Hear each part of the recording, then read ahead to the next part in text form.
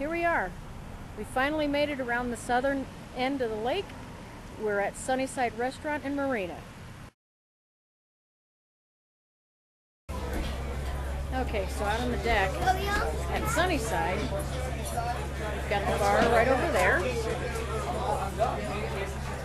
There's all the tables. You can buy some t-shirts and things right there.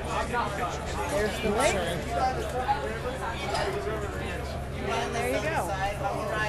When you come over to Sunnyside, this is the place to eat outside with a nice view of the lake.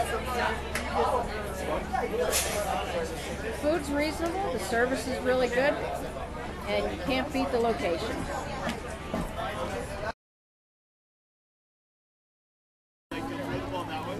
Okay, so at the Sunnyside Restaurant and Marina, this is the view you get when you eat out on the deck.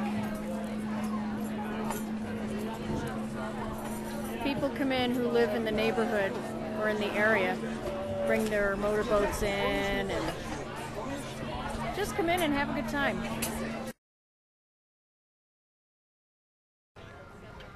Okay, one last look from the Sunnyside Restaurant. It's near Meeks Bay. It's on the western side of the lake.